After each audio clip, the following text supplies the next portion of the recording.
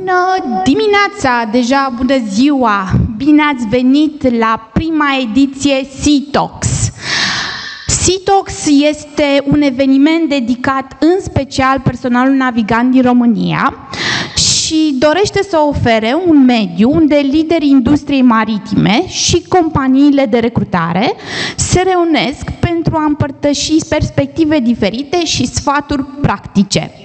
Evenimentul CITOX oferă oportunități de învățare, interacționare și de a stabili legături valoroase cu experți din domeniul maritim, colegi de profesie și, de ce nu, potențial angajatori. Eu sunt Oana Iucel, coach, trainer, speaker și autor. Sunt profund recunoscătoare și onorată să fiu moderatorul întâlnirii de astăzi, prima ediție CITOX. Împreună cu organizatorii evenimentului, și aici se pare că îmi trebuie mai multe mâini, Simplify și Camera de Comerț, Industrie, Navigație, Agricultură Constanța și Universitatea Maritimă din Constanța, suntem gazdele dumneavoastră astăzi. Sponsorii și partenerii evenimentului CITOX sunt BCR, ASIS Software, Maersk, Orca Cruise Services și Ceronav. Și le mulțumim profund că au fost alături de noi. CITOX deschide un eveniment extrem de important pentru Constanța, Mar Maritime, să pronunț corect, Maritime Business Week, organizat de CCINA, Camera de Comerț, Industrie, Navigație și Agricultură Constanța.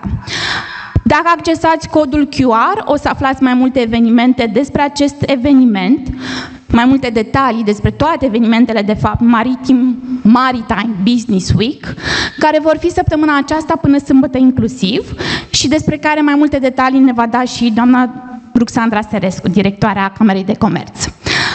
Astăzi vom avea pe scenă, pe scena CITOX, 8 speakeri primii patru până la pauza de prânz, care va fi pe hol în fața acestei aule, vor discuta despre diferite subiecte, cum ar fi cum să te formezi ca navigator, viața de navigator, abilități cheie necesare și despre cariera de navigator atunci când ești femeie.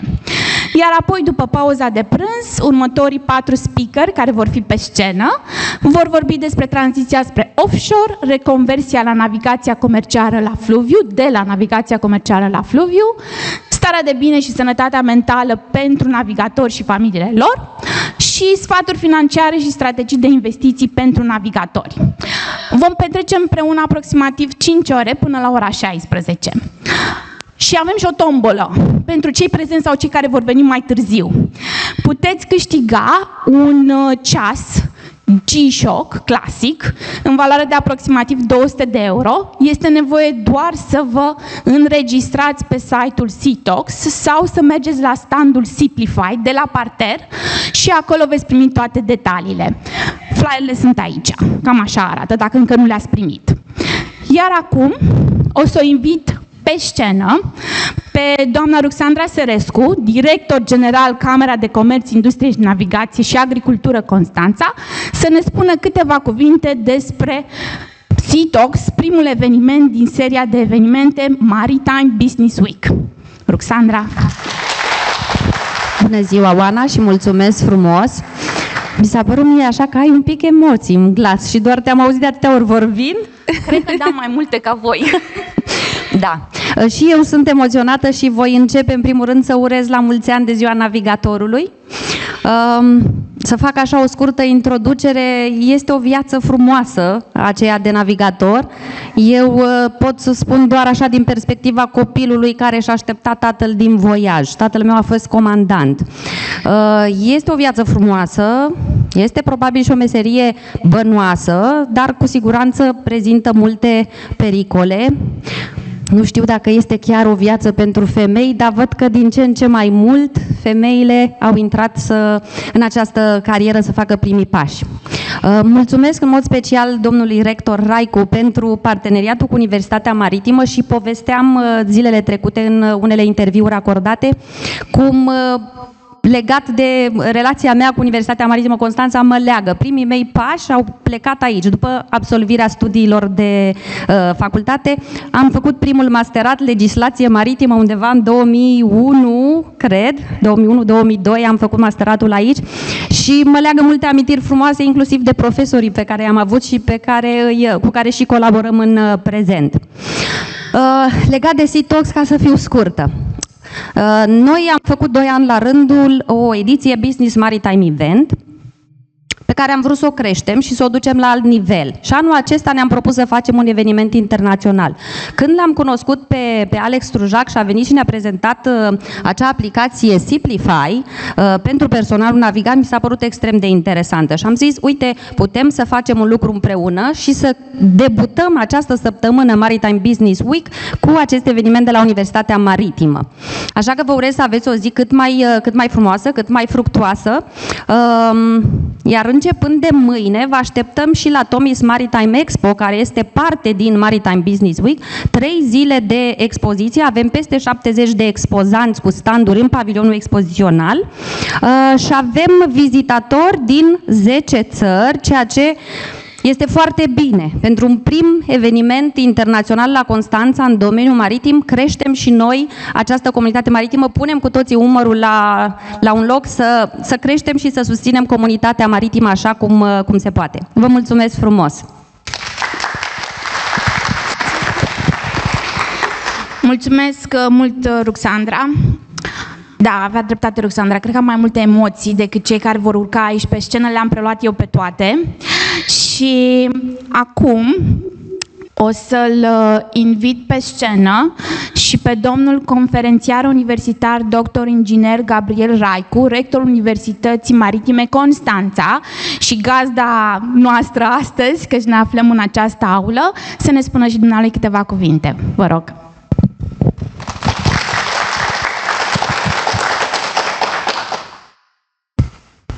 Mă bucură faptul că astăzi putem găzdui un astfel de eveniment. Într-adevăr, denumirea este una extrem de generoasă, CITOX, o spune totul. Uh, noi, ca universitate, suntem cumva un izvor pentru viitor. Nici o dorință de a face rimă aici, ci practic doar descrierea unei realități. Doamna director își amintea cu multă plăcere despre momentele unor studii masterale. Sunt uh, sigur că foarte mulți dintre dumneavoastră vă aduceți aminte de momentele petrecute pe parcursul formării noastre în învățământul de marină românesc sau în orice alt domeniu colateral care duce către această industrie maritimă. Este foarte important pentru noi să conștientizăm acest lucru și să conștientizăm că trebuie să funcționăm ca un întreg. Acest SITOX deschide, dacă vreți, niște orizonturi noi. Evenimentele următoarelor zile sunt evenimente care vin să continue această deschidere. Este de o importanță capitală ca această tradiție născută acum sau intuită cu niște ani înainte, dar născută acum, să plece mai departe cu un succes care să nu fie pe 2 ani, pe 3 ani, pe 10 ani, ci să fie, dacă vreți, un punct de zero un punct de start, un punct de la care să putem construi ceea ce mediul maritim în această zonă merită. Uh, sunt uh, foarte încrezător că în ceea ce privește universitatea, în ceea ce privește Camera de Comerț, în ceea ce privește ceilalți stakeholderi implicați în această activitate, pe viitor vor dispărea absolut toate barierele de comunicare, lucrul acesta ducând, dacă vreți, la un win-win pe toată linia. Este foarte important ca noi să fim parte cu toții din astfel de evenimente pentru că lumea a arătat că pe parcursul ultimului secol, dacă în zona maritimă exista colaborare, a existat automat și dezvoltare. Uh, în sens invers, nu prea au funcționat lucrurile. Nu există zonă cu dezvoltare fără o colaborare în sectorul maritim.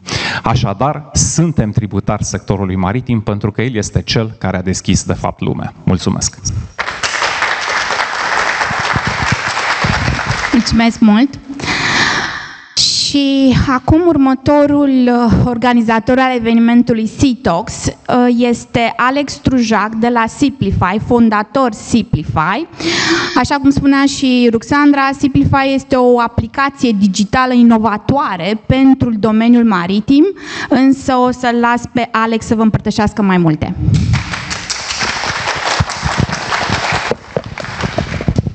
Bună tuturor! Mulțumesc că v-ați luat din timpul vostru ca să fiți astăzi aici.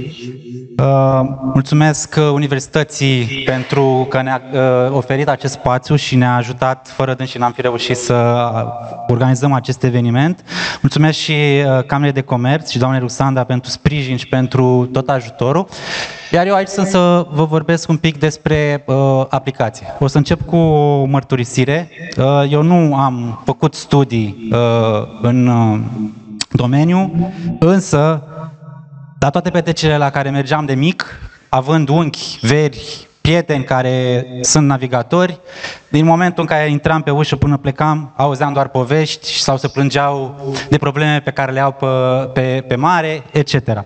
Și așa mi-a venit ideea să fac această aplicație. A, a, știind de problemele lor, am zis, eu fiind ITist, am zis, cred că pot să găsesc uh, o soluție să le fac viața mai ușoară și-a luat naștere uh, Simplify, care este o aplicație care ajută la dezvoltarea uh, voastră pe tot parcursul carierei. Cum face asta? Are mai multe funcționalități. Primul este de comunitate. Ați văzut că uh, și domnul Raicu și doamna Luxandra spunea că fără comunitate nu putem uh, evolua. Și atunci uh, am făcut o secțiune în care puteți pune întrebări, puteți să uh, dați răspunsuri dacă puteți să-i ajutați chiar pe colegii voștri, iar pe lângă asta am adăugat și două lucruri pe care le-am observat în discuțiile uh, de pe grupuri de Facebook și LinkedIn, unde majoritatea când urmează să plece într-un nou voiaj, intră pe Facebook și întreabă o să plec cu compania X, ce știți să-mi spuneți despre ea sau despre vaporul X. Și atunci avem în secțiunea de comunitate două uh, funcționalități în care puteți să cereți sau să dați review-uri dacă cunoașteți uh, acele companii sau vapoare, dacă ați lucrat pe ele, exact ca la Uber, cu steluțe. Următoarea funcționalitate este clasică, locuri uh, de muncă, unde avem peste 200 de joburi, peste 40 de companii, atât locale cât și din Grecia, Polonia, Ucraina. Iar ce avem aici diferit, avem două funcții.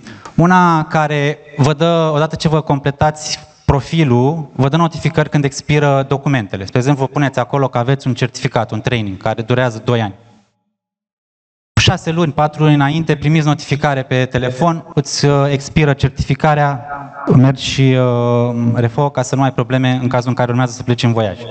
Iar a doua, vă creați un, uh, un uh, profil, să zicem salariu dorit, funcția dorită, vaporul, tipul de vapor, iar aplicația o să aplice automat. Odată ce găsește joburi care se potrivesc uh, setărilor voastre, trimite automat, aplică la acea companie, voi urmând doar să fie sunați de companiile respective, uh, în cazul în care, bineînțeles, uh, sunteți niște candidați potriviți pentru pozițiile lor. A treia funcționalitate este o librărie digitală. Asta am, uh, ca și funcționalitate, sunt inspirat tot din discuțiile cu, cu voi, cu colegi de-ai voștri.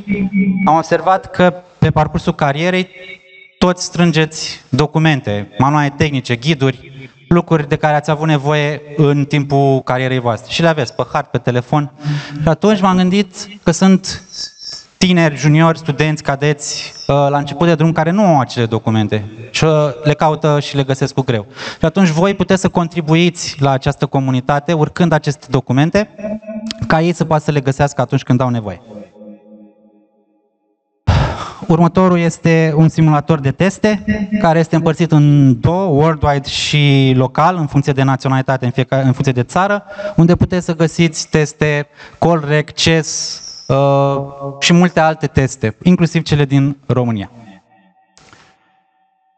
Uh, al patrulea, al cincilea, de fapt, uh, aceea funcționalitate este, am numit-o noi Quest, dacă contribuiți la comunitate, urcați documente, dați răspunsuri uh, și orice acțiune pe care o faceți în aplicație, primiți puncte, iar la sfârșit de lună, top 3 care aveți cele mai multe puncte, veți primi premii în cripto, 100 uh, de dolari uh, locul 1, 75 locul 2, 50 locul 3. Și aceste premii se dau lună de lună.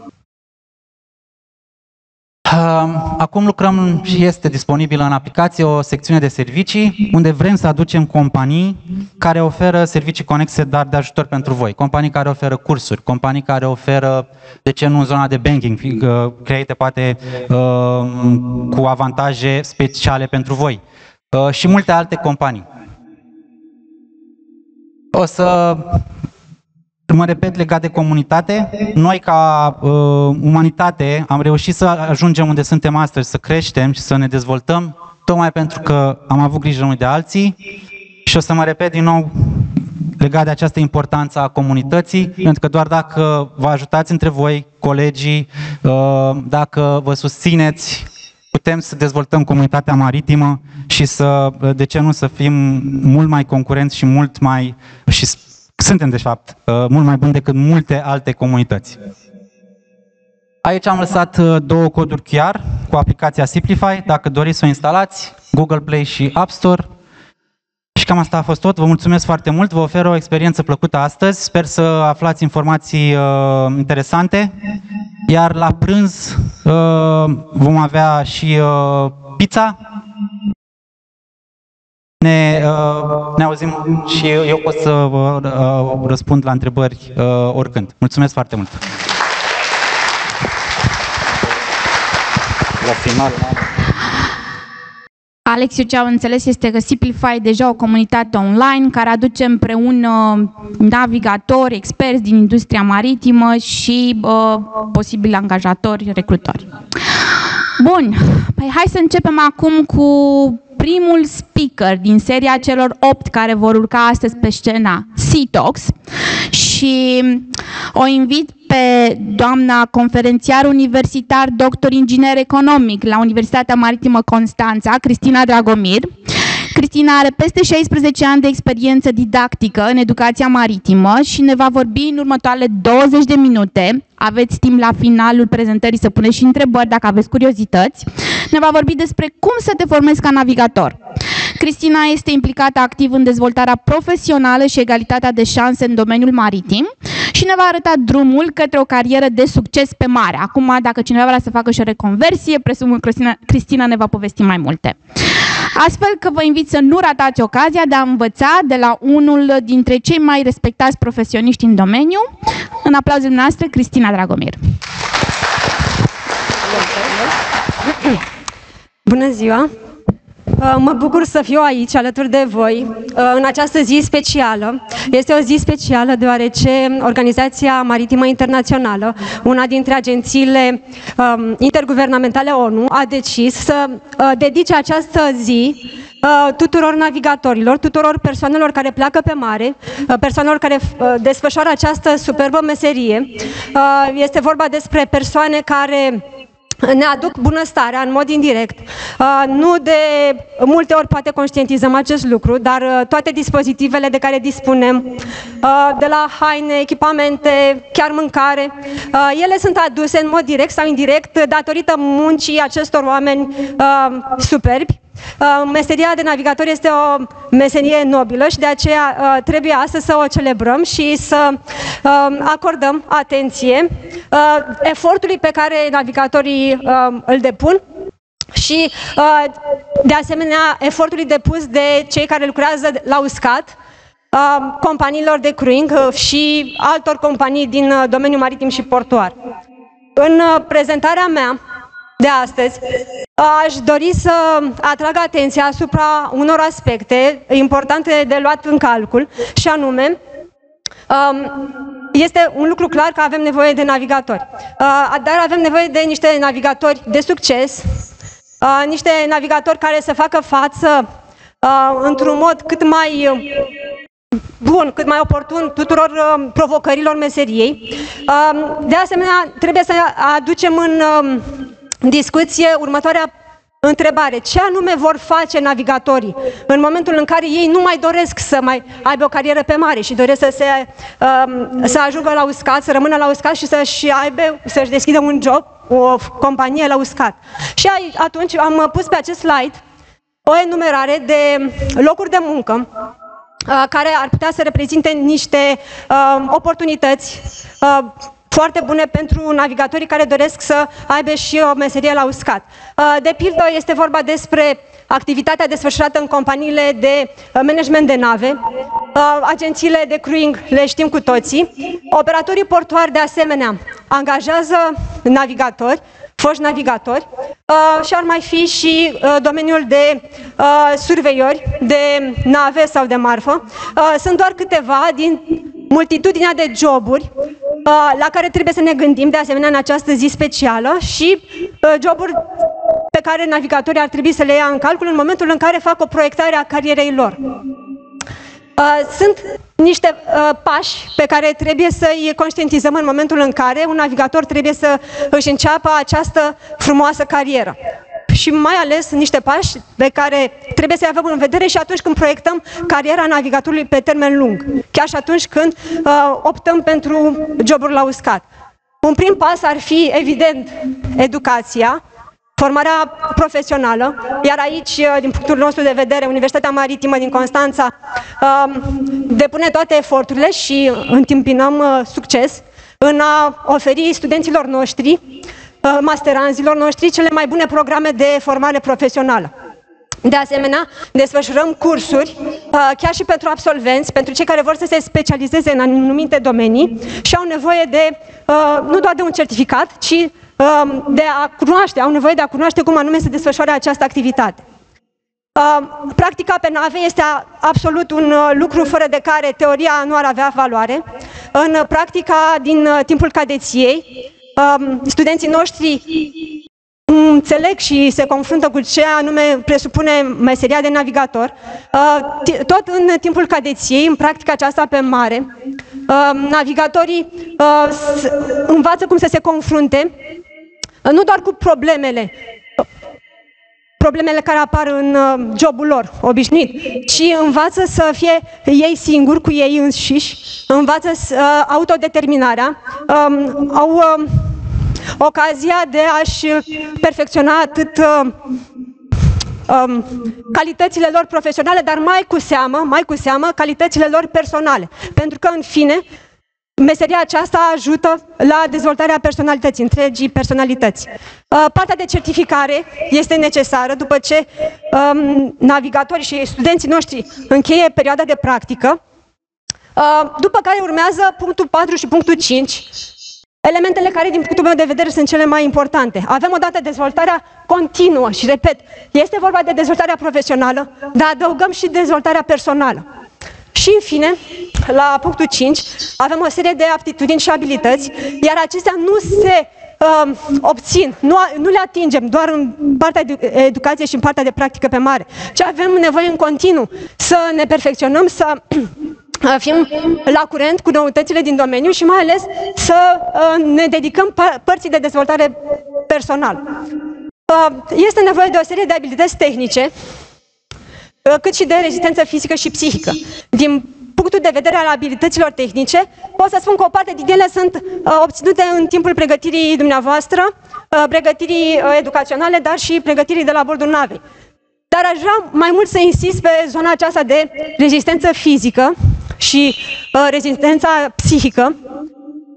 Și mai cu seamă, această zi este dedicată înțelegerii faptului că navigatorii trebuie să Uh, fie conștienți de provocările lor și să uh, înțeleagă că uh, sunt asociații, sunt instituții, sunt entități care ajută atât pe partea de rezistență fizică cât și pe partea de rezistență psihică. Dacă rezistența fizică poate să fie obținută cu ajutorul companiilor de navigație, cu ajutorul companiilor de crewing și sunt numeroase companii care oferă la bordul navei echipamente sportive, iar navigatorii pot să își uh, desfășoare un program um, zilnic, un program care să-i depărteze și de stresul activității, dar un program care să-i ajute și să fie sănătoși.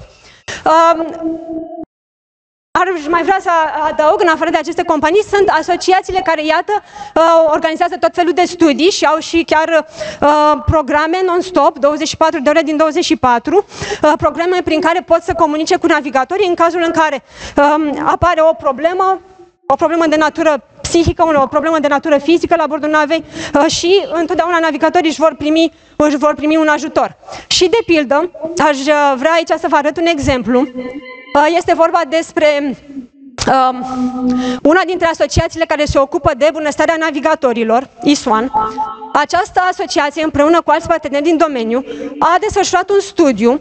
În acest studiu s-a uh, constatat că pentru bunăstarea și fericirea navigatorilor sunt necesari mai mulți factori uh, și să știți că nu salariul este cel care aduce bunăstarea. Nu salariul. Ba chiar pe acest grafic, probabil scrie mic, nu puteți să vedeți până în spate, dar pe acest grafic salariul este undeva pe locul 4. Deci reiau ideea. Pentru bunăstarea navigatorilor, pentru starea lor de fericire, de împlinire și de mulțumire, sunt mai mulți factori și din acești factori avem pe um, cei care țin de conectivitate, legătura uh, navigatorului cu membrii echipei, faptul că uh, navigatorii au internet la bordul navei și partea bună este că sunt din ce în ce mai multe nave moderne care oferă aceste facilități de comunicare. Și felicit pe cei din industrie care fac lucrul acesta și um, acordă importanța acestui fapt. Uh, ieșirea la uscat în timpul acostării navelor este iar un alt factor care influențează bunăstarea și fericirea navigatorilor. Avem apoi zona de salariu, normal că este și acolo, trebuie să fie, uh, dar partea de mâncare este, este iar, iată, un aspect de, de care companiile uh, de navigație trebuie să țină cont. Până la urmă, cam totul trece prin stomac și trebuie să avem un stomac fericit ca să ne facem munca așa cum trebuie. Uh, partea de sănătate. Um, dacă sunt companii și care au nave care oferă um, programe de sport, de educație fizică la bordul navelor, um, dimensiunea aceasta nu este în total rezolvată. Partea de sănătate um, este o preocupare și în afara voiajelor pentru companii și sunt numeroase companii care, iată, um, acordă importanță și în momentul când dumneavoastră sunteți la uscat, acordă importanță și se asigură de faptul că aveți o sănătate, o stare bună, o stare bună generală, nu doar în timpul voiajelor. Partea de training, iată ce revin la ideea de mai devreme, de partea de dezvoltare profesională, partea de certificare, Partea de training iar ajută la această bunăstare a navigatorilor pentru că oamenii vor fi în contact cu noutățile din domeniu și atunci te duci pregătit la bordul navei. Nu te duci într-un mare necunoscut. Și, uh, bineînțeles, interacțiunea de la bordul navei, uh, iar um, felicit companiile care desfășoară programe de socializare la bordul navei. Este un lucru minunat faptul că um, nu doar oamenii pleacă să, să-și facă o, o muncă, ci e, e important și faptul că programele acestea de socializare contribuie la dezvoltarea dezvoltarea personală a oamenilor, intră în alte medii de cultură, um, fac cunoștințe cu oameni de alte naționalități, ceea ce este un lucru minunat. Și, în fine, să știți că undeva cam prin spatele clasamentului avem și um, workload, adică încărcarea de muncă. Uh, ea poate să fie, încărcarea aceasta de muncă poate să fie uh, împovărătoare, dacă, mă rog, știm cum uh, sunt uh, situațiile în care trebuie să faceți uh, activități suplimentare la fel este un lucru de care e uimitor de bine, este fantastic de bine că avem legislație. Important este normal să ținem și cont de ea, pentru că, până la urmă, sunt 24 de ore, nu putem să le facem, să extindem timpul mai mult. Deci, iată, ce am enumerat aici au fost o serie de factori care au fost analizați de asociații pentru navigatori, pentru bunăstarea navigatorilor. Ați văzut că nu salariul este întotdeauna cel mai important în momentul când faceți o meserie. Lucrul acesta să știți că se aplică și la uscat, nu este vorba doar de uh, cazul navigației. Uh, și în uh, final, aș vrea să uh, mai accentuez faptul că Există această zi internațională, astăzi observăm, 25 iunie este ziua internațională a navigatorilor. Uh, ce am uh, prezentat până acum a fost enumerarea pașilor pe care uh, ar trebui să-i parcurgeți în scopul de a deveni niște navigatori foarte buni profesioniști. Aș mai vrea să adaug câteva lucruri aici. Uh, în afară de programele educaționale pe care le desfășurăm și le desfășurăm foarte bine, um, invit studenții, invit pe colegii noștri mai mici, pe studenți, uh, pe masteranzi, invit să se înscrie la programe de voluntariat. Astfel de programe, de altfel, replică ceea ce mai departe veți întâlni în timpul vieții. Programele de voluntariat nu vă aduc bani, dar vă aduc o cunoaștere imensă și um, cu, a, participând prin aceste programe de uh, voluntariat, cu orice proiect pe care, um, pe care îl, pro, îl parcurgeți, voi veți fi mult mai um, cunoscători ai realității, uh, veți fi mult mai buni în relaționarea cu uh, colegii de echipă, cu a face față provocărilor, deci sunt niște lucruri minunate în cadrul proiectului de care mă ocup, uh, în cadrul proiectului finanțat de Consiliul Național pentru Finanțarea Învățământului Superior, uh, desfășurăm aici în Universitatea Maritimă uh, o activitate prin care îi identificăm pe colegii din ani mai mari, îi aducem să fie mentor pentru colegii din ani mai mici și aș vrea să-mi închei prezentarea cu această invitație. Știu că printre dumneavoastră în sală sunt uh, persoane care navigă de foarte mulți ani. Uh, aș dori să extind această invitație, să vă invit și pe dumneavoastră să fiți mentori pentru colegii dumneavoastră mai mici, colegii mei de altfel, uh, să vă înscrieți în programele noastre de mentorat, să deveniți ambasadori UMC și prin asta să îi învățați pe cei care nu au trecut prin experiența pe care dumneavoastră o aveți, să îi învățați pe aceștia să facă față cu brio tuturor provocărilor vieții. Eu mi închei prezentarea aici, vă mulțumesc foarte mult pentru participare și încă o dată la mulți ani tuturor navigatorilor, este ziua dumneavoastră. Cristina, mulțumim mult pentru toate informațiile faine prezentate. Uh, cum spuneam, avem timp și pentru întrebări. Așa că, vreo curiozitate, vreo întrebare pentru Cristina? Eu speram, speram să scap, dar... Nu, Cristina, nu scapi. Te rog. Da. Ok. Deci ce am auzit eu din partea Mădălinei, o întrebare dacă și agențiile de crewing pot fi mentori legat de programul pe care le-a amintit Cristina. Te rog. Desigur, noi deja avem colaborări cu companii care au tradiție în uh, Constanța. Totodată invităm și mai multe companii să ni se alăture. Um, noi deja desfășurăm activități în care invităm uh, reprezentanții ai companiilor să vorbească studenților noștri. Ne-am dorit ca aceste evenimente să se facă mult mai des. Uh, e clar că avem nevoie de expertiza din partea dumneavoastră ca să transmiteți mai departe studenților noștri. Deci suntem deschiși la toate colaborările. Super, mulțumesc mult pentru întrebare. Da, Dan, te rog. Deci întrebarea pe care am primit-o din sală este dacă Cristina cunoaște că există asociația alumnii și dacă știe că este activă, nu? Uh, desigur, am auzit de Asociația Alumni. Alumnii se referă la uh, foști absolvenți. Uh, noi avem parte de susținere din partea dânșilor și ne bucurăm foarte mult să avem acest sprijin din partea lor. Ne-am dorit ca această asociație să se renoiască an cu an, an de an, cu noi absolvenți și suntem foarte bucuroși să vă avem alături de noi în continuare. Cristina, să știi că am venit și eu cu temele făcute de acasă și ți-am ascultat așa prezentarea și sincer eu am o curiozitate. Eu am o vorbă așa că teoria o știm mult și practica ne omoară și sunt foarte curioasă cum um, îmbină teoria cu practica reprezentanții Universității Maritime Constanța pentru studenții de aici ca să-i pregătească pentru viața reală pe mare. Da, noi avem programe de practică, uh, mai mult sau mai puțin dorite. Noi trebuie să-i luăm pe toți studenții să-i ducem în practică. Ei vor face uh, odată practica la bordul navei și noi sprijinim în găsirea de parteneriate cu companiile și uh, contracte cu companiile. Totodată desfășurăm practica și la sediul universității și aș vrea să vă spun despre implicarea mea personală în programul de practică, chiar dacă nu predau la facultatea de navigație, predau la o specializare inginerie și management în transporturi. Noi pregătim pe cei care vor lucra în port, în logistică, în uh, crewing, în expediții internaționale de marfă și eu personal îi duc în port, uh, ei, iar ei sunt foarte încântați să vadă procesul de încărcare, descărcare, depozitare.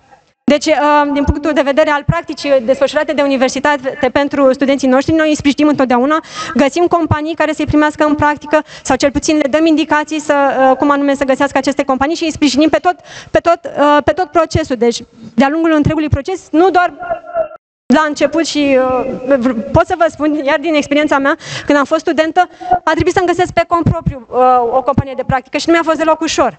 Cu intervenții, cu recomandări, până la urmă am reușit să-mi fac stadiul de, stadiul de practică. Din punctul ăsta de vedere, sunt foarte încântată că la, noi la universitate, noi îi sprijinim pe studenți. Noi le dăm o listă cu companii sau noi îi trimitem personal pe studenții în aceste companii de practică. Super, mulțumesc mult, Cristina, mulțumesc pentru tot ceea ce ai împărtășit.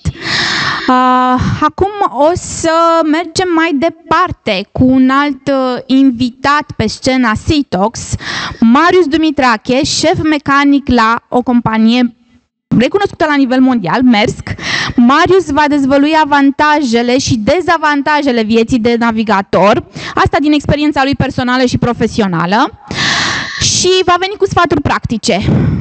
Așa că în aplauze dumneavoastră, Marius Dumitrache. Vă mulțumesc foarte mult! Uh, mă numesc Marius Dumitrache, am absolvit această universitate și e o zi nostalgică pentru mine. N-am mai fost aici de 15 ani. Și, cum spuneam, o să încerc să vă vorbesc despre avantajele și dezavantajele vieții de navigator. Atât cât se poate în uh, formatul acesta și în tipul ăsta de discurs. Aceasta ar trebui să fie o discuție și este o discuție de amploare, consider eu.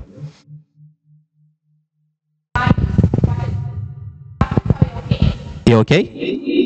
Ok. Vă mulțumesc mult. Cum spuneam, aceasta, avantajele și dezavantajele vieții de navigator, este o discuție de amploare. Dar sper că cele ce vă voi spune în continuare să fie într-o oarecare măsură în cariera dumneavoastră. Uh, am un pic de emoții, este prima dată când vorbesc în fața unei audiențe.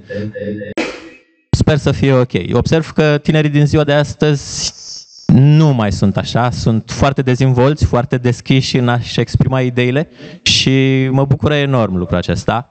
Consider eu că este era principala diferență între cadeții români și cadeții polonezi sau nemți, spre exemplu. Lucrul acesta se schimbă. Deci nu pot decât să vă felicit. Uh, ca și avantaje, dacă tot vorbim de navigat, nu avem cum să-l ignorăm, poate pe unul din cele mai importante. Uh, s-a menționat că salariul este al patrulea ca și indice de bunăstare la bord, dar cred eu că în momentul alegerii carierei este unul dintre cei mai importanți factori. Și ca absolvenți de Universitate Maritimă veți avea un salariu bun, un salariu mult peste ce veți putea obține în orice altă profesie. Desigur că în ultima vreme puterea de cumpărare a scăzut enorm și ca și sumă salariile nu au crescut proporțional cu inflația, dar chiar și așa toți sunt peste ce veți putea obține în orice altă profesie. Trebuie să vorbim, desigur, și despre conectivitate. Este un alt mare avantaj al meseriei noastre, un avantaj care nu era prezent până acum ceva ani. Țin minte, acum șapte ani, uh, comunicarea cu familia consta într-un mail trimis o dată pe zi, al cărui răspuns îl primeam a doua zi și răspundeam și eu a treia zi. Toate aceste lucruri s-au schimbat între timp. Uh, poți suna cu video oricând, poți comunica cu prietenii și cu familia oricând și ăsta este un lucru extraordinar. Uh, trebuie să-i mulțumim domnului Musk pentru asta. Firma la care lucrez, Maersk, una din cele mai mari firme de transport maritim și logistică din lume, uh, are internet de la Starlink. Sunt câteva vapoare unde lipsește, dar um, în curând vor avea și acelea. Uh, desigur, această conectivitate vine și cu consecințe negative, aș zice eu, și anume faptul că nu mai comunicăm, nu mai, uh, nu mai socializăm, nu mai facem activități la bordul navei. Dar cert este că după programul de muncă, oamenii preferă să se retragă la cabină și să discute cu familia. În felul ăsta, relațiile dintre noi au foarte mult de sferit. Uh, cândva eram o familie, chiar eram o familie, pentru că bune și rele le discutam la sfârșit de program, la o bere sau un pahar de suc și interacționam, aveam o grămadă de activități împreună. Acum din ce în ce mai puțin. Încă sunt, dar nu atât de mult ca în trecut. Uh, un alt avantaj, aș zice eu, al vieții de navigator este că avem vacanțe. Nu încerc să fiu ironic, ca și navigator veți avea între 4 și 6 luni de vacanță pe an, în funcție de prioritățile dumneavoastră. Dacă vreți să prioritizați, via- prioritizați viața de familie, veți avea mai mult. Dacă vreți să prioritizați câștigul material, veți avea ceva mai puțin. Eu personal am șase luni de vacanță pe an. Consider că este o balanță ideală între viața de familie și câștigul financiar. Și, și familia mea consideră la fel. Aș putea spune că plecările m-au ajutat și în viața de familie, pentru că după fiecare voiaj am ocazia să mă îndrăgostesc soția la fel de mine și eu de ea. Și uh, da, tot vorbeam despre viața de familie. Acesta este un dezavantaj al vieții de navigator. Poate fi extrem de greu să găsim o persoană care să accepte lungile noastre uh, absențe, să accepte toate particularitățile negative ale meseriei noastre și odată ce vom găsi acea persoană, automat vor să apară copiii. Uh, impedimentul ăsta va fi cu atât mai mare pentru doamne și domnișoare. Sunt puternic încurajate în ultima vreme să activeze în meseria noastră, femeile, doamnele, domnișoarele, cât și minoritățile de orice fel. Și consider eu că Mersk, firma pentru care lucrez, este un loc ideal pentru a-ți începe cariera dacă aparții uneia dintre categoriile mai sus menționate. Uh, avantajele sunt foarte multe, dar cel mai mare aș zice eu că este respectul. Vei fi respectat ca tânăr ofițer, vei fi respectat ca și cadet și părerile îți vor fi apreciate. Cum spuneam, poate fi greu să-ți găsești o persoană care să înțeleagă toate aceste lucruri. Odată ce o vei face, automat o să apară copii. Și pot să spun că din punctul meu de vedere nu a fost niciodată cu adevărat greu să navig până când nu au apărut copii. Uh, desigur că mi-am pus întrebarea în acel moment de ce o fac și răspunsul a fost că pentru noi, pentru ele, pentru stilul de viață confortabil pe care îl avem și pe care profesia noastră ni-l facilitează. Într-adevăr, ca și navigator, la uscat vei avea un stil de viață confortabil. În niciun caz nu cred că se poate vorbi de bogăție, nu veți fi bogați, dar veți avea un stil de viață extraordinar de confortabil. Mi-aș fi dorit să pot spune că unul dintre avantajele navigatorilor este faptul că veți călători. Însă nu pot spune asta. Într-adevăr veți călători, dar nu veți vizita. Am avut recent un uh, ofițer mecanic 3 care a ieșit prima dată la vapor după patru contracte de 5-6 luni. Și aș vrea să spun că asta este o excepție, dar din păcate încet încet devine regula. Și cum spuneam, vizitați, dar nu vedeți. Cel mai adesea pe tipul de nave pe care navig eu vedem terminalul și containerele. Și din păcate situația nu este mult mai roză pe alte tipuri de vapoare, din câte am înțeles.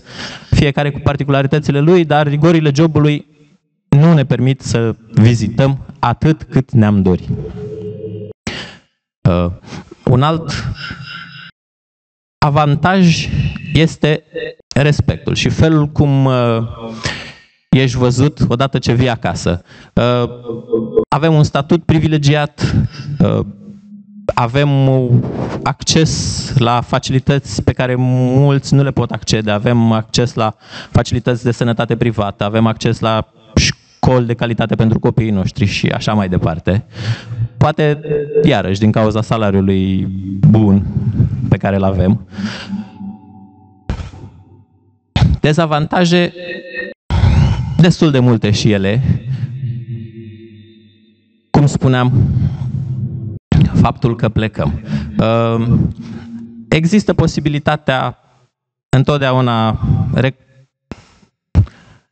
reconversiei profesionale, să spun așa. Există posibilitatea, în special pentru mecanici electricieni, de a-și găsi un job uh, la țărm, dar și pentru navigatori, deoarece sunt buni pe partea de PR și întotdeauna este nevoie de așa ceva. Și dacă asta vă doriți, sunt convins că puteți merge și în această direcție. Uh, ca și, ca și încheiere pot să spun că Meseria noastră este în continuă schimbare. O schimbare accelerată în ultima vreme, aș putea spune. Conectivitatea ne-a forțat la schimbare. Uh, instrumentele pe care le folosim pentru joburile de zi cu zi au devenit mai performante, mai rapide, mai ușor de folosit și asta aduce progres.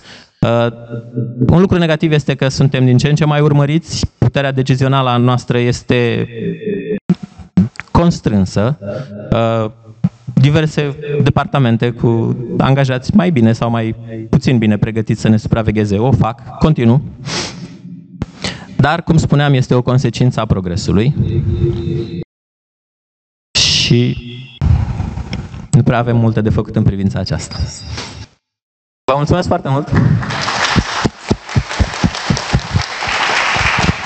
Mulțumesc mult, Marius, te-ai descurcat de minune, Marius, de minune. Um, acum, uite, uite, nu știam că navigatorii ar putea să lucreze în PR, dar am aflat de la Marius. Îți mulțumim pentru tot ceea ce ai împărtășit uh, și ce am auzit eu de la tine este că, uite, tehnologia ne poate ajuta să fim mai eficienți, până la urmă în orice industrie, inclusiv cea maritimă. Iar uh, partea asta cu ce ai spus tu, Marius, șase luni acasă, șase luni pe mare, ca să fie mai mult echilibru în familie.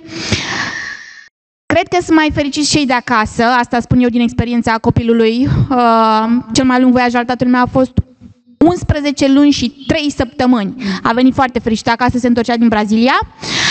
Însă partea actuală cu doar 3 luni pe mare este mult mai bine pentru cei de acasă. Într-adevăr, probabil că stați mult mai mult închiși pe navă. Și aici mi dus mi întorsul. Lucruri pozitive și negative în orice domeniu și în orice activitate. Mai departe, să fim pregătiți ca să fim și inspirați și să aflăm secretele unei cariere de succes de la comandantul Remus Paul Galiațatos din flota Mersk. Remus este un adevărat specialist în ale navigației și un lider pe navele de tip container. El ne va dezvălui abilități cheie necesare pentru a prospera într-o carieră în industria maritimă, oferind informații valoroase și sfaturi practice. În aplauze dumneavoastră, Remus Paul Galiațat. Da, mulțumesc frumos. Nu e un lider de săvârșit, nu este exponențial pentru mine. E un comandant obișnuit, cu emoții acum în fața dumneavoastră, deși săptămânal mă întâlnesc cu echipajul, acela echipajul meu pot să-l controlez. Aici un mediu în afara zonei mele de confort, mai ales că e și la universitate, eu am absolvit Academia. Ehm, da, și am zis să ies din zona de confort și să vorbesc despre abilități cheie necesare pentru o carieră de succes. Și ne trebuie aceleași abilități ca în orice carieră. Poate un pic mai mult în industria maritimă pentru că are câteva particularități. Una dintre ele ar fi, nu știu, diversitatea. De la diversitatea îndeletnicirilor la bord, pentru care ne trebuie o grămadă de cunoștințe, nu doar de navigație sau de mecanică, ne trebuie și guvernare corporatistă în ziua de azi, cunoștințe de IT, ca tot am vorbit de conectivitate. Apoi urmează, poate și mai important, diversitatea oamenilor. Uh, lucrăm cu oameni din tot felul de medii, din tot felul de țări, around the globe, de peste tot, cu mentalități diferite, stiluri de viață diferite și este foarte dificil să găsim, cel puțin la început, un numitor comun. Și dacă tot zic de diversitate, la fel, în ultimii ani, cum a spus și Marius, femeile sunt încurajate și încearcă să ne demonstreze și chiar reușesc să ne demonstreze că nu e un domeniu exclusiv masculin. Și având nevoie de aceste cunoștințe, să spunem, despre când uh, cunoștințe tehnice, cum am zis, navigație, mecanică, guvernare corporatistă, psihologie, sociologie, chiar și istorie uneori să știm de ce, nu știu, indienii nu se înțeleg cu pakistanezii sau de ce chinezii nu se înțeleg cu japonezii. Și atunci, ca să ai un pic de background, să știi cam care e background-ul și să poți să strunești anumite conflicte la bord, ai nevoie și de un pic de astfel de cunoștințe. Bun, deci trebuie să fim și buni psihologi, și buni navigatori, și buni mecanici, și buni la orice. Și ne gândim, pentru a avea o carieră de succes, chiar avem nevoie de tot ce am enumerat și foarte mulți ar spune că nu neapărat, mai ales cei care au navigat și s-au dus pe un vapor, două, trei, și au dat de niște oameni care nu aveau nici abilități de lider, nici cunoștințe tehnice, dar totuși erau șef mecanic, mecanici, comandanți și nu poți să spui că n-au avut o carieră de succes. Au echipajul în subordine, au nava în subordine, câștigă destul de bine, dar le lipsesc foarte multe lucruri. Și atunci, abilități cheie, unde sunt abilitățile lor și au ajuns acolo? De ce mi-ar trebui mie ca să ajung acolo? Și am stat și m-am gândit și am zis că, bun, când am întâlnit o astfel de persoană, care a fost reacția noastră? Am privit cu admirație, cu respect, uh, am simțit că putem avea încredere în acel om să ne conducă sau ne-am pus mâinile în cap și a zis, Doamne, ce caut eu aici? Că mai bine era acasă. Și la fel m-am întrebat și eu când am progresat în această carieră, ce fel de lider, ce fel de comandant mi-aș dori să fiu. Și mi-aș dori să fiu un comandant pe care lumea să-l respecte, pe care lumea să-l urmeze, pe care lumea să-l ia ca exemplu. Și atunci a trebuit să-mi dezvolt toate aceste abilități pentru o carieră de succes. Lumea consideră că am o carieră de succes, eu consider că a fost totul un drum normal, am evoluat, am urmat niște pași și am ajuns unde sunt, ă, ajutat și de colegi și de școală, într-o proporție mai mică, dar de experiența de viață în cea mai mare proporție. Și ca să vorbim despre abilități, putem să enumerăm și am avut tendința să vorbesc despre acele abilități pe care le știe toată lumea. Abilități de comunicare, flexibilitate, adaptabilitate, rezistență la efort, etc., etc., gândire critică sau mai știu eu ce.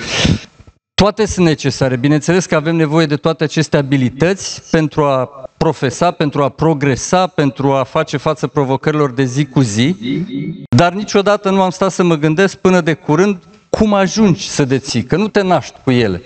Și atunci am zis să vorbesc despre câteva lucruri care cred eu că ne-ar ajuta să ajungem să fim flexibili, să, fim, uh, să putem să ne adaptăm la cerințele de zi cu zi, să știm să lucrăm în echipă, să avem uh, vizibilitate ca lideri. Și primul lucru la care m-am gândit, și apoi mi-a fost confirmat că și eu la rândul meu vin după Vin de la un curs de leadership uh, organizat de MERS și primul lucru care, pe care l-am văzut acolo a fost, uh, și pe care, la care m-am gândit și eu, a fost curiozitatea. Și aș zice că ar trebui să fim curioși în fiecare zi, să fim curioși să aflăm lucruri noi, să fim curioși să aflăm lucruri care nu țin de domeniul nostru neapărat, că nu trebuie să fii ofițer mecanic sau nu trebuie să fii ofițer punte ca să știi etapele pe care le parcurg mecanici când schimbă o cămașă la principal sau să fii ofițer mecanic nu trebuie să știi de ce ofițerul punte testează echipamentul radio. Că poate nu o să ai nevoie niciodată de cunoștințele astea. Dar, știindu-le, atunci când va veni momentul, nu te va lua pe nepregătite și vei putea să faci față mai repede, vei fi pregătit să faci față situației într-un mod optim. Că nu trebuie să fii electrician ca să știi diferența dintre o baterie plumbacid și o baterie litiu. Și stai și îți pică egdisul pe comandă și aștept să vină electricianul să vadă ce s-a întâmplat cu egdisul când ai putea foarte simplu ca ofițer punte să scoți capacul de la UPS, să măsori două baterii, să schimbi bateriile și lași pe electrician să facă lucruri mai, nu știu, mai complicate sau care nu suportă amânare. Și atunci, curiozitatea asta ne ajută pe noi să progresăm. Vedem lucruri noi și curiozitatea în orice domeniu, chiar și în relațiile interpersonale, este un lucru care ar trebui să rămână constant în uh, evoluția noastră. De multe ori aud două lucruri aud de la vapor și una sunt parțial de acord, cu cealaltă chiar deloc. Una este if it works, don't touch it. Dacă merge, nu te atingi de ea. Ok, sunt de acord. Merge, nu te atingi de ea. Dar măcar să știi de ce merge și când ar trebui să meargă sau aceste lucruri, ca să, în caz că spică, să știi ce ai de făcut. Și chiar dacă nu e în domeniul tău de activitate, ofițer, punte să știi, a picat boilerul, să știi ce vor face acolo, cât va dura, sau de multe ori cadeții vin la bord și ce îmi trebuie, domnule, să știu, toată ziua stau și marțagonesc, dau cu vopsea, trebuie să aștept patru ore, vine ăla, se uită, nu-i bine, că n-am pus nu știu ce grunt. Eu trebuie să fiu pe punte, stau cu ofițerul 3, ofițerul 2, să mă uit afară cu binoclul și să văd uh, vapoare, să fiu navigator. Bun. Și toți cadeții, cel puțin de la punte, cei mai mulți mai am auzit spun că m-am săturat de dar dacă nu faci asta, tu, cu mâna ta, dacă nu înțelegi care e diferența, diferența, diferența între tipuri de vopsea care se aplică la interior, la exterior, uh, timpul de aplicare între straturi, când o să ajungi secund, capitan, nu o să poți să evaluezi calitatea lucrărilor pe care o fac cei din subordinea ta. Și atunci o să zici, vai ce ați făcut un job extraordinar, totul e bun și frumos și peste o săptămână începe să se exfolieze vopseaua. Pentru că tu habar n-ai că de fapt Acolo nici măcar nu s-a curățat bine puntea de apă de mare. Și le zic cadeților să folosească și mi-aș, la fel ca Mariu zic și eu, mi-ar fi plăcut să văd mai mulți cadeți, mai mulți studenți, viitori ofițeri, Le zic întotdeauna să folosească cât mai multe lucruri doar de la, de la punte dacă sunt ofițeri punte sau doar de la mașină dacă sunt ofițeri uh, cadeți uh, mecanici. Le zic tuturor, fiți curioși, încercați să aflați cât mai multe lucruri pentru că acolo se pune fundația viitoarei tale cariere.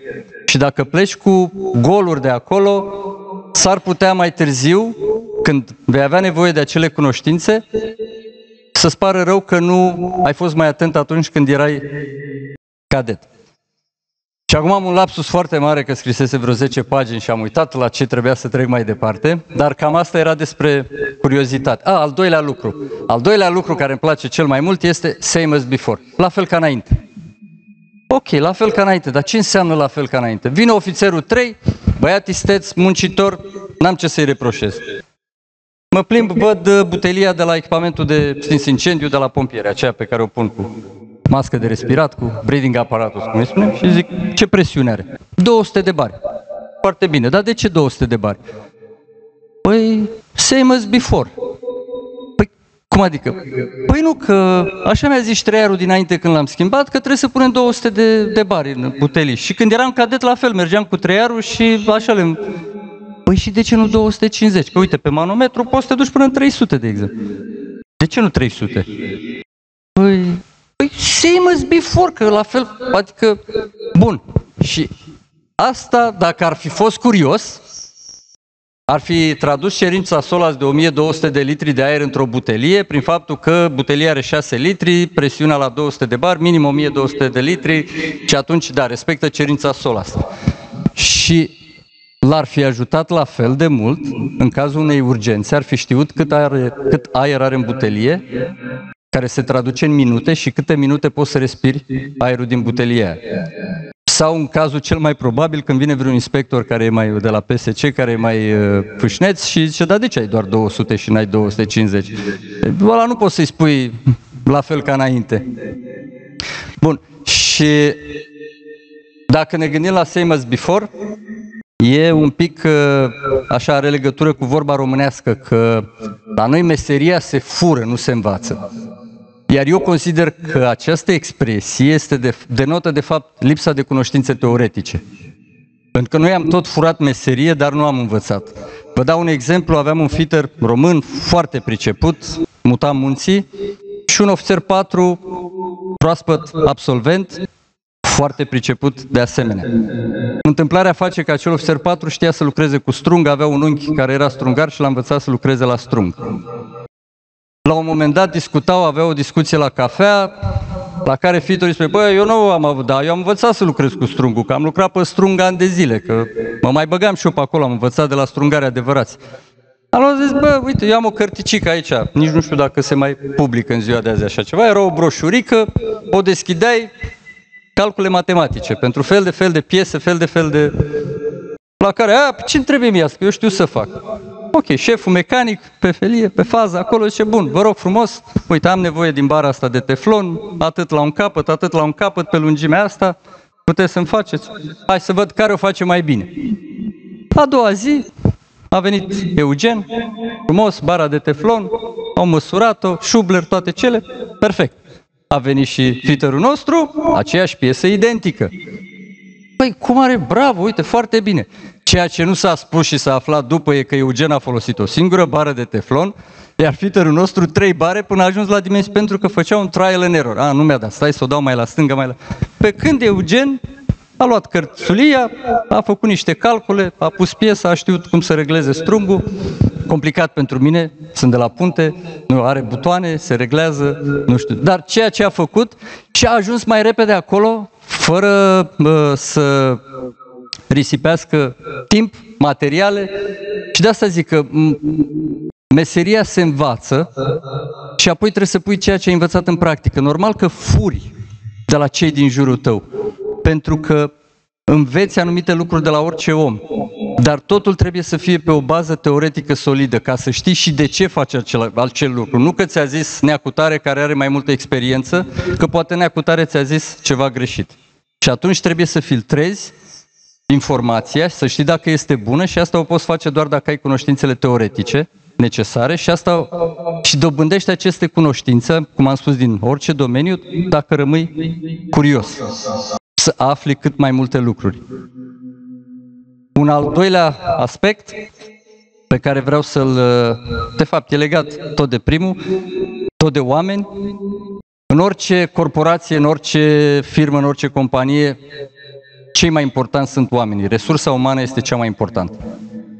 Și ar trebui să folosim resursa umană pentru a ne ajuta, pentru a progresa. Putem învăța de la oricine. Chiar și de la un comandant, un șef mecanic, un ofițer incompetent, putem învăța să nu facem lucrurile prost, să le facem mai bine. Am avut comandanți pe care n-am putut să-i respect, chiar și când eram cadet, n-am putut să-l respect, pentru că nu corespundea viziunii mele cum trebuie să fiu un comandant. Dar chiar și de la țipa era, era, cred că avea și pastile pentru calmare la cabină. Dar am învățat, pentru că l-am văzut în anumite situații cum a reacționat și am zis, Ionar, nu o să fac așa, pentru că uite, ăsta s-a dus cu un gând la cabină, ăla sărac mai avea să se arunca peste bord, nu poți să faci așa ceva. Și atunci am învățat cum să nu fac lucrul ăsta. Și am învățat și de la bucătari, am învățat și de la cadeți și mă bucur în ziua de azi vin niște cadeți extraordinari la vapor. Cu unii te cerți, am avut o, uh, chiar acum am avut un ofițer 3 de la noi din Jurilovca, deci barba albă pe care o am acum, de la ea este. Pentru că orice spuneam era un challenge. Dar de ce? Pentru că, păi unde scrie? Zic, bun, Florentina, te rog frumos, uite, ia aici, aici scrie. A, ok, da, aveți dreptate.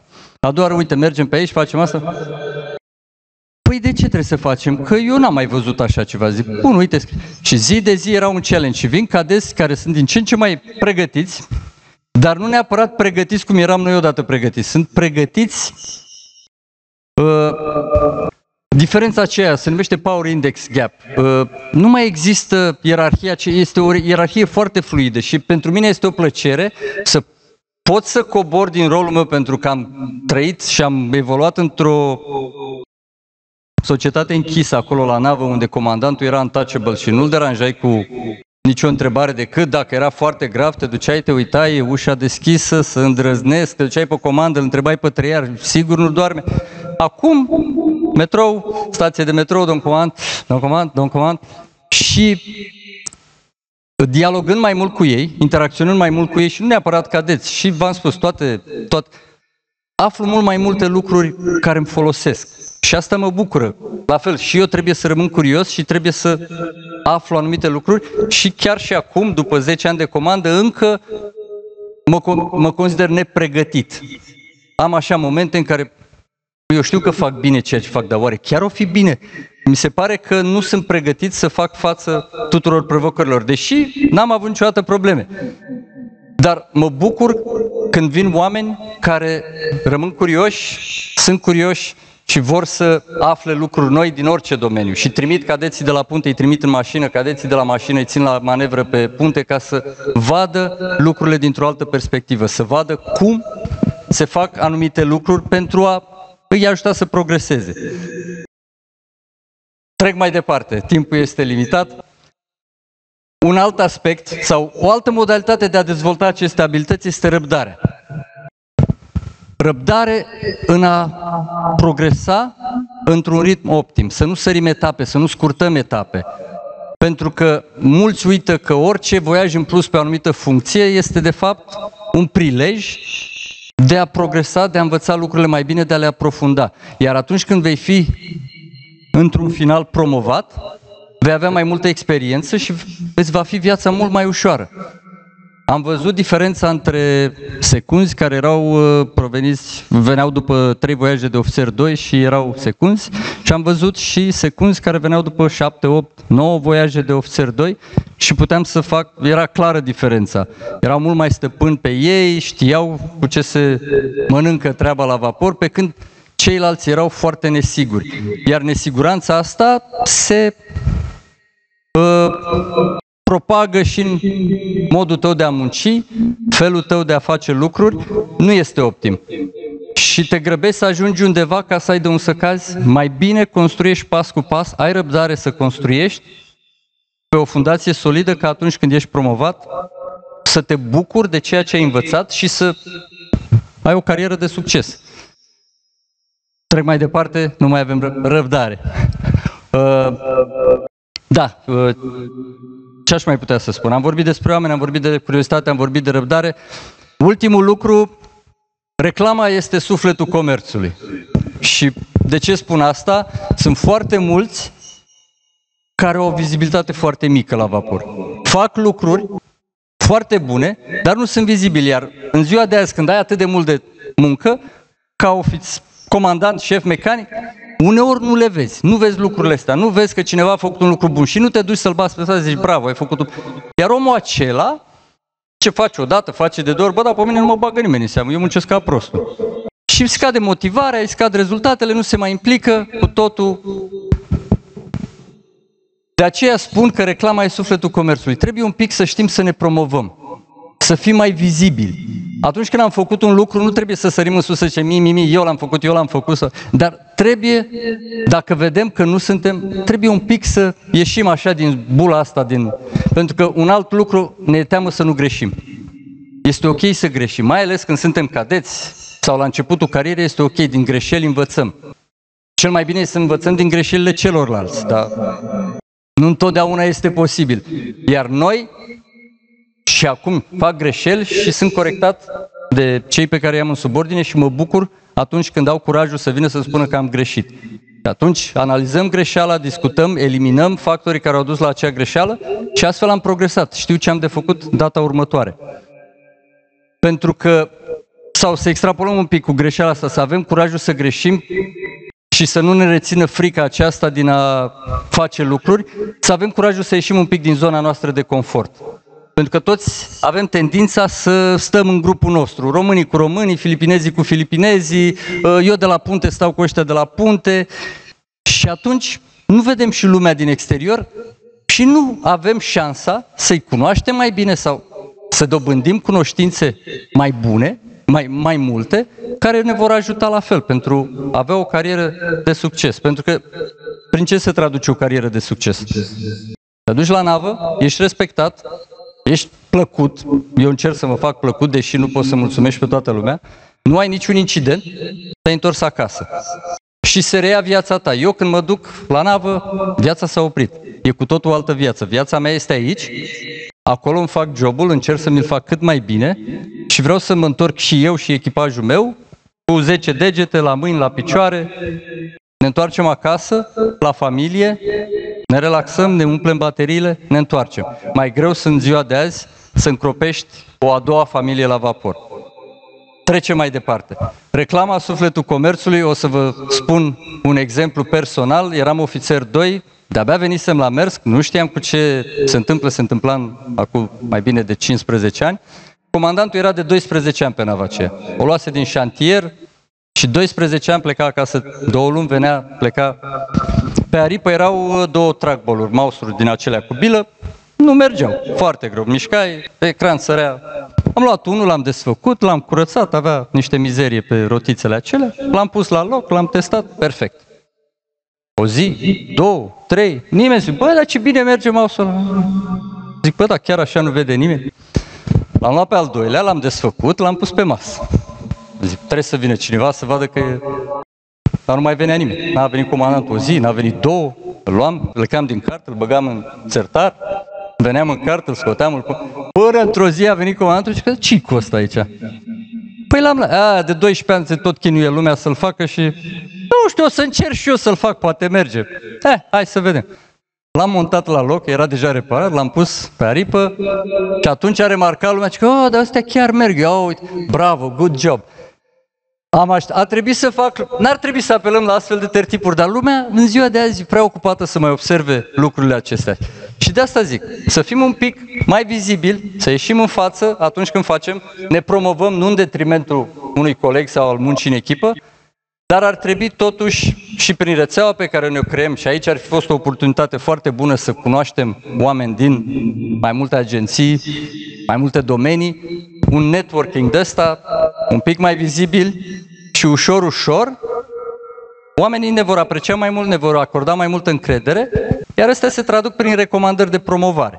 Că toți industria asta, când ajungi cadet, te împinge chiar dacă ești bun, chiar dacă nu ești bun, să ajungi comandant sau șef mecanic. Nimeni nu te întreabă, sau te întreabă foarte rar nu vrei să rămâi tu secund, că ești bun, mie îmi place de tine.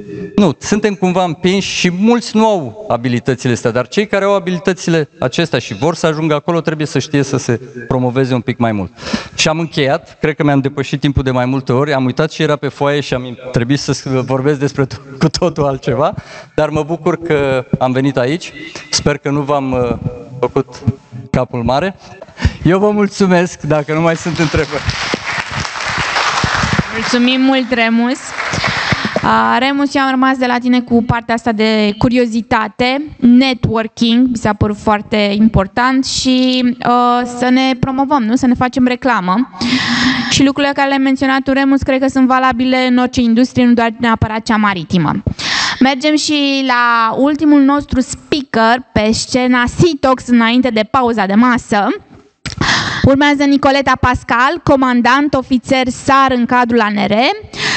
Nicoleta are o carieră de peste 10 ani pe mare și va împărtăși povești autentice și sfaturi esențiale pentru navigarea cu succes într-un domeniu tradițional masculin. În aplauzele dumneavoastră, pe scena Citox, Nicoleta Pascal. Nicoleta, Bună ziua! Sper să-mi scuzați emoțiile, cred că vă dați seama, îmi tremură un pic vocea. Um, pregătisem și fițuici să mă ajute să nu uit ceva să spun, dar uh, nu mai am mâini. Uh, am făcut o mică prezentare. Uh, se zice că o fotografie face cât o mie de cuvinte. Am foarte multe fotografii din cariera mea de navigator, femeie, Uh, ăsta este subiectul despre care voi discuta. Este un subiect foarte important uh, în 2024 și a devenit important uh, în urmă cam cu 5 ani, să spun. Cam în 2019 s-a făcut mare, mare vâlvă despre a integra femeile în domeniul maritim. Uh,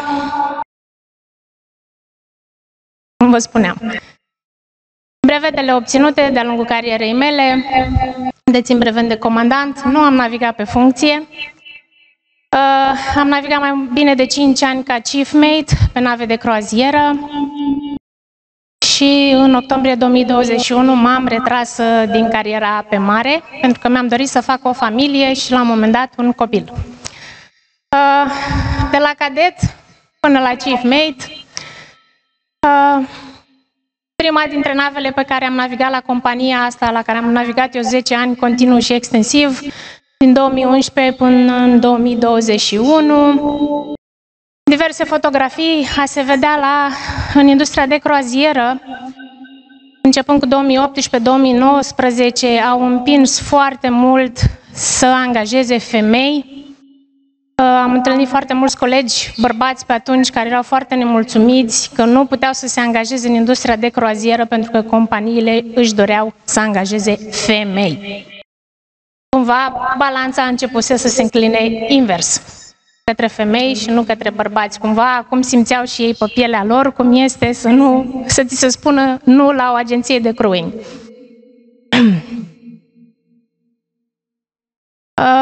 Echipaje internaționale, la fel cum sunt la pasagere, sunt și la navele cargo, unde am fost și eu câteva voiaje scurte în perioada mea de cadeție.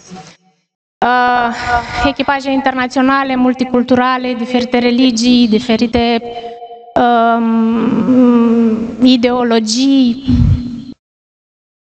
frumusețea de a pleca într-un voiaj, locuri pe care ajungi să le vezi, pe care poate alți oameni le văd doar la televizor și în documentare.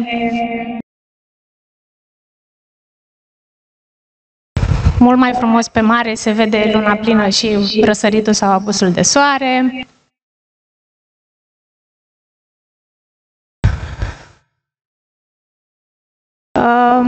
În cariera voastră ca femei va trebui să vă adaptați și să faceți aceleași lucruri pe care le fac și colegii noștri bărbați. Veți participa la foarte multe traininguri și de asemenea la bordul navei veți fi puse în poziții uh, pe care poate anumiți oameni le consideră că pot fi făcute doar de bărbați. Poate pe emergency card veți avea uh, uh, poziția să fiți pompier în cazul unui incendiu la bordul navei. Și atunci se vor face exerciții de rol la, bo- de, uh, rol la bord, dar în același timp veți merge și la alte traininguri la uscat. Ceronav sau, de exemplu, acesta este un training în Miami la Fort Lauderdale, unde s-a făcut pe bune simulare cu foc și noi îmbrăcați cu echipamente corespunzător am învățat cum să stingem un incendiu.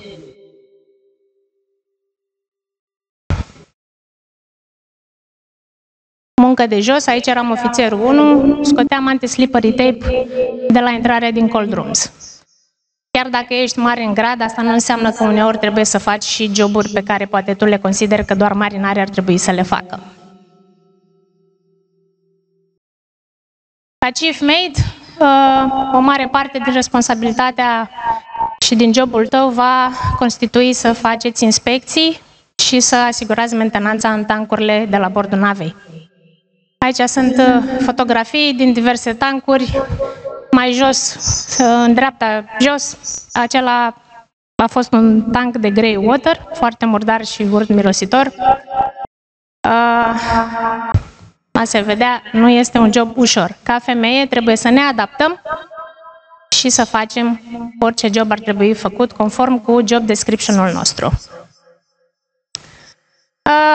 Această operațiune de tender se face doar la navele de pasageri, se transportă pasagerii de la navă către uscat și înapoi în porturile care nu pot acomoda nave atât de mari să docheze la cheu. Era foarte mișto ca să zic așa, experiența în zilele cu vreme bună și cu soare și cu mare liniștită. O plăcere să conduci tenderul și să discuți cu pasagerii. Extraordinar. Dar am avut câteva dăți în care, vă spun din proprie experiență, deși prognoza spunea că va fi vreme frumoasă, s-a pus vântul deodată, valuri enorme undeva în Noua Zeelandă, la Pine Islands, și tenderul meu a început să sară în sus și în jos. Comandantul striga în Viecev, nu vă apropiați de navă, trebuie să mutăm nava de la ancoraj mai departe pentru că ne împinge vântul către shallow waters. Și ia Nicoleto acum și ține tu tenderul cu prova în vânt și să nu-ți intre apă în tender și nu-ți mai spun că în spatele meu o pasageră foarte în vârstă, japoneză cred că era, a început să strige că noi vom muri toți acum și de ce comandantul a decis să facă el tender azi, el nu știa că vremea va fi rea? Păi nu avea cum să știe, prognoza zicea că va fi soare și frumos. uh, vă spun că în momentul în care am reușit să aduc tenderul la platforma navei și să debarc pe toată lumea în siguranță, fără să pice vreunul în apă, era cumva și ultima mea cursă, pentru că urma să merg să mă odihnesc, pentru că mai târziu intram în cart. Îmi tremurau genunchii. Îmi tremurau genunchii și am zis că e cea mai urâtă zi din viața mea. Dar e o experiență pe care acum vă povestesc și vouă și pe care probabil o vă povesti copiilor și nepoților când voi fi bătrână. De asemenea, navele la 5 ani merg în șantier sau poate la 2 ani, depinde dacă au vreo problemă majoră care trebuie rezolvată. Am fost în câteva șantiere în dry dock. Aici am avut un suport de 75 de marinari și de dimineață până seara când se încheia programul eram din vârful navei până în cel mai mic tank de sub uh, motoare. Uh, aceștia sunt unii dintre marinarii și băieții care veniseră marinari ca să-și facă cadeția, mulți dintre ei erau români, au fost în acel dry dog cu mine și au muncit foarte mult și sunt foarte, foarte mândră că am lucrat cu ei. Uh, dar, cum întreba colega, uh, uneori este foarte greu să dai ordine unor oameni care sunt mai în vârstă ca tine și au o experiență mult mai vastă ca a ta. Cum a spus și colegul Remus, se ajunge la un moment dat, în momentul în care îi spui, eu am mai multe trese pe umeri decât tine, și dacă eu spun că trebuie făcut așa, trebuie făcut așa. Și mi-asum responsabilitatea. Nu trebuie să vă fie frică să vorbiți, nu trebuie să vă fie frică să întrebați, nu trebuie să vă fie frică să le spuneți uh, colegilor sau marinarilor dacă greșesc.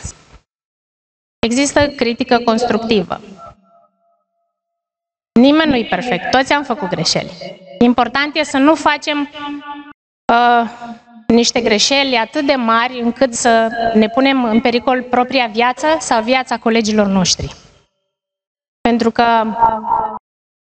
am auzit persoane spunând că e, dacă ești cadet, e ok să faci greșeli. Vezi tu, depinde ce greșeală faci. Pentru că o greșeală poate costa viața ta sau a unor colegi. La fel de dificil e să ai în subordine foarte, foarte multe femei. Uh, am avut un voiaj în care în puntea de comandă doar comandantul și cu safety officer erau bărbați. Restul erau femei. Și vă spun că a fost unul dintre cele mai grele contracte pentru mine, ca și uh, management al uh, bridge team-ului, pentru că mi s-a spus, ești chief mate, e de datoria ta să le faci să se înțeleagă și să-și facă treaba. Și zic, ok, dar treaba mea cine o face dacă eu să stau toată ziua să fac babysitting? Se certau foarte tare între ele și de multe ori nu-și făceau treaba. Deci, veți fi puse și în situația în care să lucrați poate cu foarte multe femei. Trebuie să știți să gestionați fiecare situație în parte.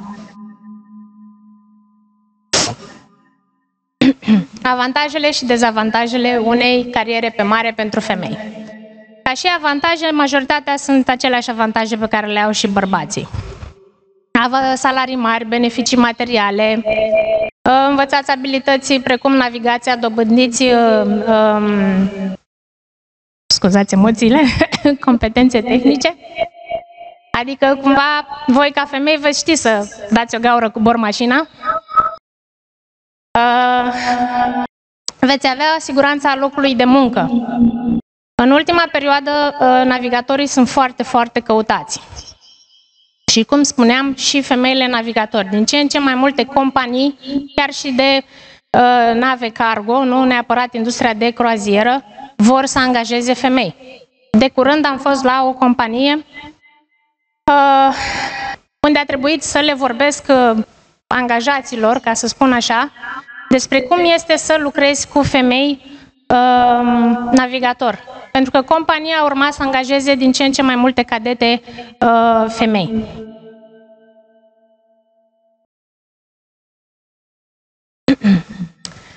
Și de asemenea, dacă la un moment dat veți dori să vă retrageți din cariera asta, există foarte multe oportunități de a lucra la uscat în diverse proiecte sustenabile de transport maritim. Dar și dezavantaje, ă, există încă discriminare. Discriminare din partea colegilor bărbați în privința colegilor lor de sex feminin. Și ca și navigator femeie, acel echilibru între viață personală și, și job este foarte, foarte greu de, de atins. Există un risc de accidentare și de asistență medicală limitată la bordul navei. Uh, sunt cazuri când uh, uh, femeile au nevoie de o cu totul altă asistență decât se poate oferi, să zicem, la bordul unei nave cargo. Pot fi complicații de sănătate care nu pot fi adresate la bordul navei și atunci trebuie să existe un plan cum anume să se rezolve dacă această situație se ivește. De exemplu, de exemplu De exemplu, să spunem că vei avea o hemoragie care nu se oprește. Asta îți poate pune în pericol viața. Iar companiile care angajează femei trebuie să aibă un plan ce vor face dacă o situație de genul se întâmplă. La navele de pasageri e mai ușor pentru că e un întreg spital la bord, există doi doctori, asistente medicale. Cumva nava este în fiecare dimineață într-un port aproape de coastă, evacuation se poate aranja foarte, foarte ușor. Dar pentru navele cargo care vor face o traversadă foarte lungă, companiile trebuie să se gândească cum anume vor rezolva o situație de acest gen dacă apare. Uh, există dificultăți de revenire la locul de muncă după o perioadă de pauză, cum ar fi concediu de maternitate. Am colege care au născut și au vrut să plece înapoi pe mare, le-a fost foarte, foarte dificil după 2 ani să se întoarcă la bordul navelor. Pentru că cumva companiile consideră că după 2 ani ai cam uitat ce știai și sunt cumva reticenți să te reangajeze. Stres și probleme de sănătate fizică și mentală din cauza izolării și programului de muncă. Uh, sfaturi. Câte dintre voi ați navigat până acum? Câte dintre voi doresc să navige? Ok. Fiți hotărâte să munciți, să perseverați și să învățați. Uh, mergeți în voiaj, dacă puteți, imediat după anul întâi. Asta este foarte util să vă dați seama dacă puteți face uh, jobul ăsta pe un termen lung, să vedeți dacă cumva aveți rău de mare. Cunosc uh, persoane care s-au cerut acasă din primul voiaj, le era foarte, foarte, foarte rău. Nu au putut să se obișnuiască cu rău de mare și acela a fost primul și ultimul lor voiaj. S-au reprofilat. Uh, la bordul navei, discriminare. Uh, așa. Uh, nu puneți la suflet. Da? Mie în primul voiaj mi s-a spus, tu ești femeie, nu ai ce să cauți aici. Aduci ghinion la bordul navei. Și mi-au făcut viața iad, efectiv. Dar eu așa din fire sunt mai bătăioasă, mai, cum să zic, dacă mă ars cu, cu jarul, mai tare mă îndrăge să stau și să le demonstrez eu lor că nu contează că sunt femeie, pot să fac jobul. Am fost în situații în care uh, mi s-au dat joburi foarte ușoare de făcut și mi s-a spus că nu sunt competentă să fac ceva mai dificil. Uh, au fost situații în care, cum spunea colegul Remus, comandantul țipa ca din gură de șarpe și bălăcărea pe toată lumea. Și eram doar ofițer 2 atunci. Și am răspuns înapoi. Și am spus, eu nu sunt aici să-mi vorbești mie așa. Eu sunt aici să-mi fac treaba. La fel și colegii mei. Degeaba țip la noi, problema care era la bord și pentru care el țipa, nu era din vina noastră, a nimănui. Dar el așa știa să se exprime. Așa știa să-și refuleze stresul pe care îl simțea. Și a cerut scuze, mi-am cerut scuze, ierarhie, ne-am văzut de treabă mai departe. Era un dry dog în Singapore toată treaba. Păstrați o atitudine profesională și amintiți-vă că sunteți la bord să vă faceți treaba. Nu uh, amestecați viața personală cu viața profesională. Și aici știți la ce mă refer, sunt foarte, foarte multe cazuri în care uh, relațiile la bord se strică din cauza că o anumită ofițer navigator s-a decis să aibă o relație cu un coleg. Și ceilalți sunt ofticați și încep să facă circ și panoramă la bordul navei. Din nou, aici companiile trebuie să aibă proceduri stricte, clare, ai voie, n-ai voie, ce ai voie, ce nu ai voie. De exemplu, la noi la pasagere se spunea clar, nu ai voie să intri într-o relație cu un coleg din departamentul în care tu lucrezi. Pentru că era conflict de interese. Vrei să ieși la un suc cu ospătarul? Nu zicea nimeni nimic. Nu era nicio problemă. Patru pentru colegii noștri bărbați atunci când lucrați cu colegele noastre uh, navigatoare femei. Tratați-le exact cum vreți și dumneavoastră să fiți tratați, cu același respect pe care îl așteptați să-l primiți înapoi. Uh, evitați să faceți presupuneri despre capacitățile lor, doar pentru că sunt femei. Au fost cazuri în care o femeie navigator a venit cu o soluție la problemă pe care nimeni altcineva nu a putut să o găsească.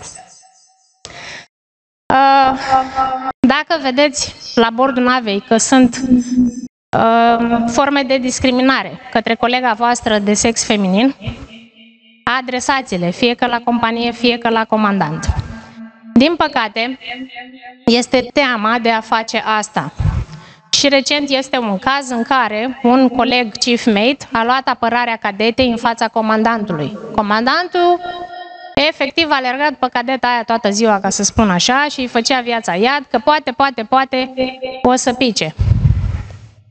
Chief mate a intervenit și a spus, vezi de treabă, las-o în pace să-și facă treaba, să-și termine cadeția, ea nu e aici la bord din temir ce motiv crezi tu că este.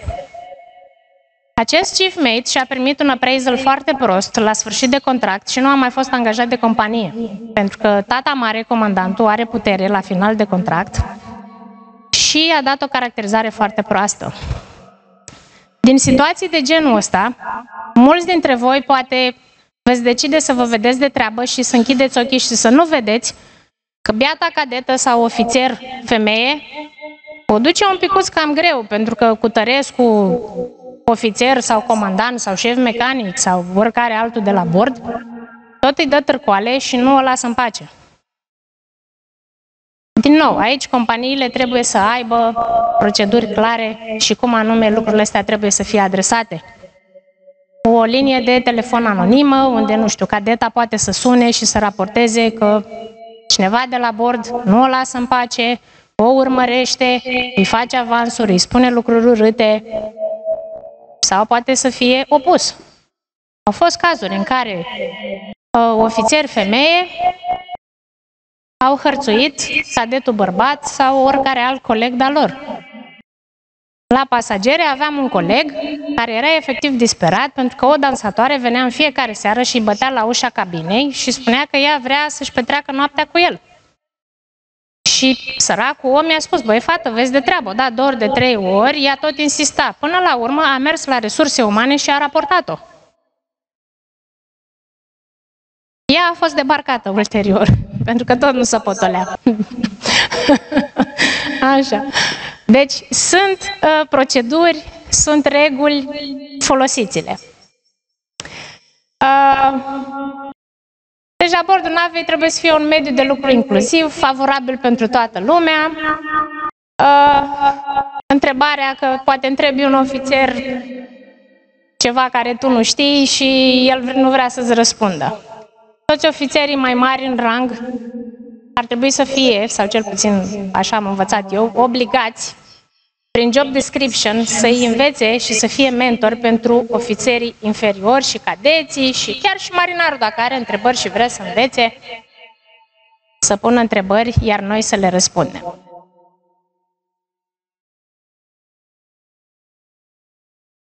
Uh, viitorul sună bine. în 2024 sunt din ce în ce mai multe femei care vor să navige. Dar, la fel, foarte, foarte multe dintre ele sunt temătoare, uh, nu știu dacă se vor descurca și cel mai mult nu știu cum se vor descurca cu acei colegi bărbați care vor fi uh, reticenți, sceptici și se vor uh, purta urât cu ele la bord.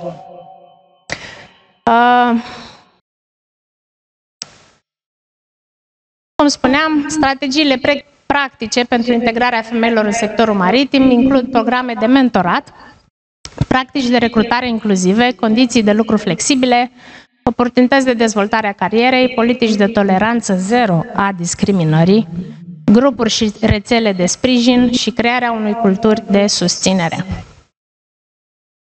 Uh, de când m-am lăsat de navigat, eu am mai terminat o facultate, sunt psiholog acreditat și consilier pentru dezvoltare personală și tot de când m-am lăsat de navigat, m-am implicat în foarte multe programe de mentorat cum ar fi cu organizații ca, cum ar fi SICADET sau Women Offshore. Uh, în cadrul acestor organizații ofer mentorat cadeților și femeilor navigatori ca să aibă o, o, o navigare mai ușoară, ca să zic așa, în cariera lor. Și din uh, tot ce am observat uh, este că există teamă, dar nu doar la fetele care vor să devină navigatoare. Există și din partea băieților același lucru. Sunt băieți care sunt cadeți încă sau și-au terminat cadeția și au luat brevetul de ofițer 3 și spuneau că le este teamă să plece pe funcție, că nu se simt pregătiți, că dacă vor face o greșeală, dar dacă e ceva care nu știu, cum să întrebe să nu pară că e prost și să râdă de el? Suntem foarte asemănători între noi. Nu contează că suntem femei sau că suntem bărbați în acest job.